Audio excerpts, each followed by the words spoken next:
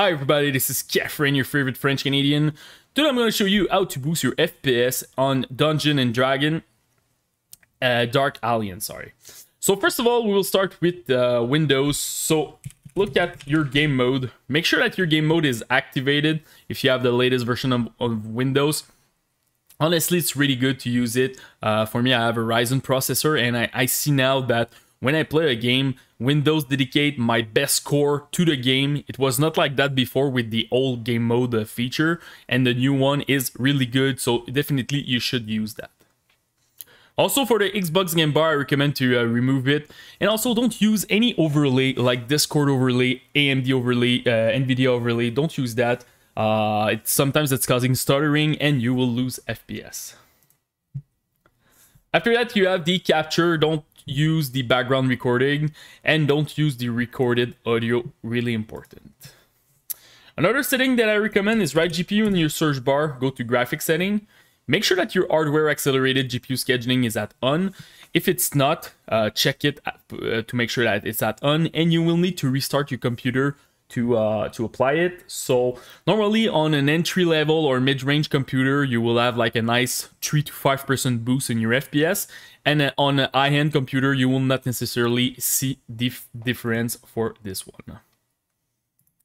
Another thing that I recommend, make sure that you update your drivers. So NVIDIA, AMD, or uh, Intel, if you have like an integrated GPU on your CPU, go on their website. Don't use the Windows update uh, because they will give you like a random generic um, driver to make sure that you're seeing your screen, you know, uh, your computer uh, send the image to your monitor, but it's not for video games. So really important, update it. Uh, Dark Alliance is a kind of like a big game.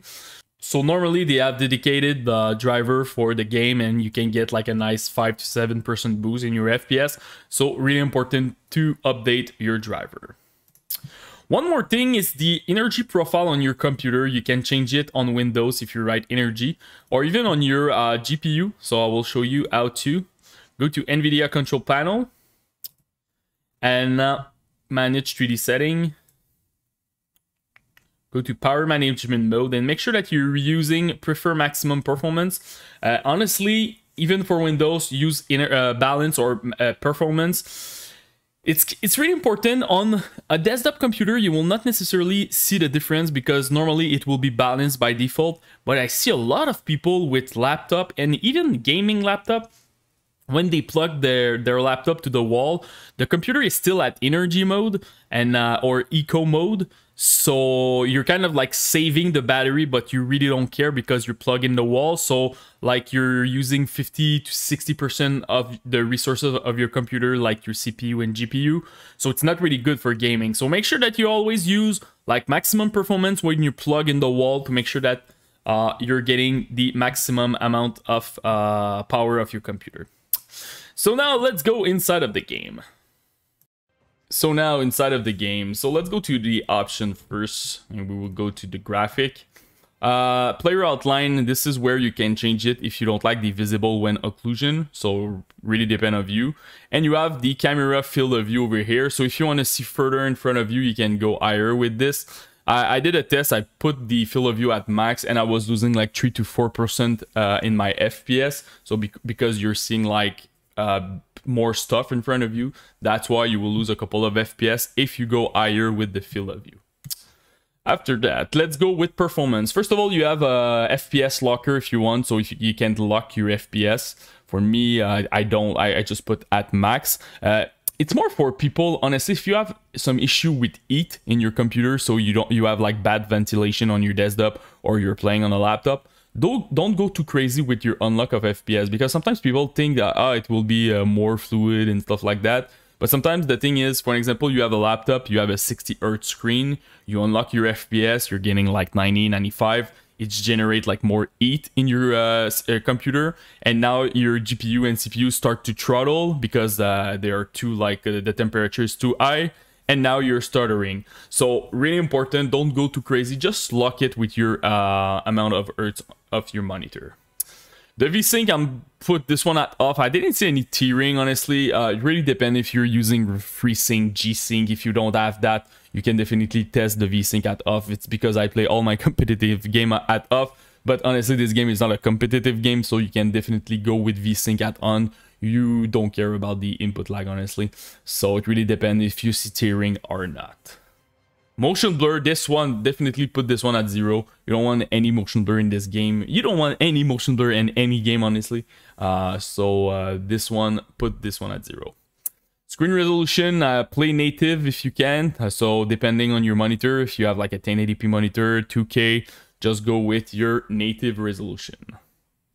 Display mode, I really recommend to play full screen. I did a test with the borderless uh, option. I was getting a lot of stuttering, lag, and stuff like that. So this one definitely go with full screen.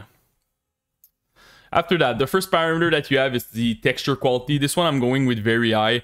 Uh, it really depends on the VRAM on your card. If you have 4 gig of VRAM and more, go with very high. 3 gig high and 2 gig go with medium.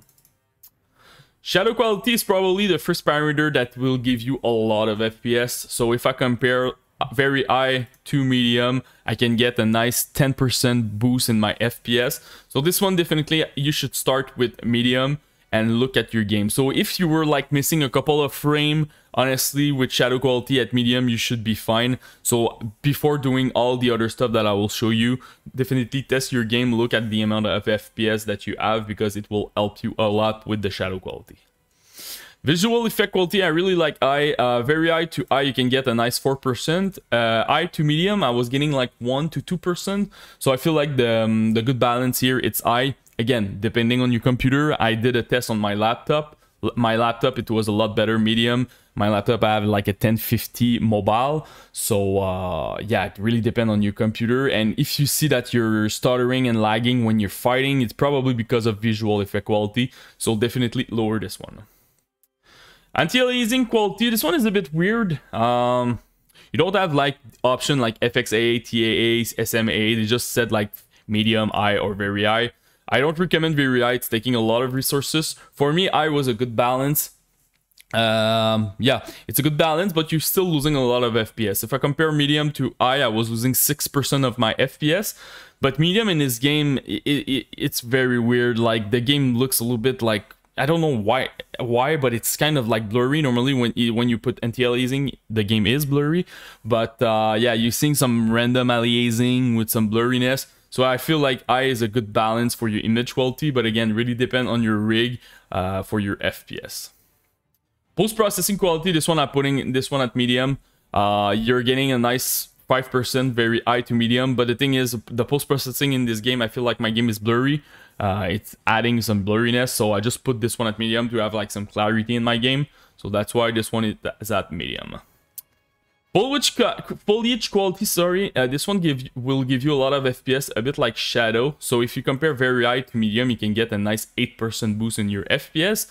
But the thing is, with trees and grass and stuff like that, your image quality will decrease a lot, honestly. Uh, so for me, high is a good balance on my computer, but if you need FPS because your game is not smooth, definitely go with medium but you will see that your image quality it will not be the same. So this one really depends on where you are in your fps right now.